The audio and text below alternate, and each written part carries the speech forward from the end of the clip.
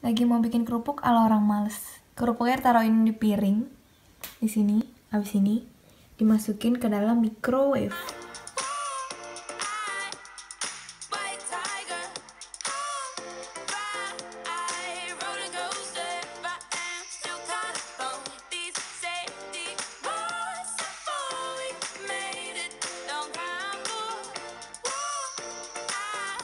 Udah jadi kerupuknya. Teksturnya beda. Bedanya cuma kayak kurang apa ya? Kurang berminyak, tapi rasanya sama dan gurih dan enak banget nggak nggak ngerubah rasanya.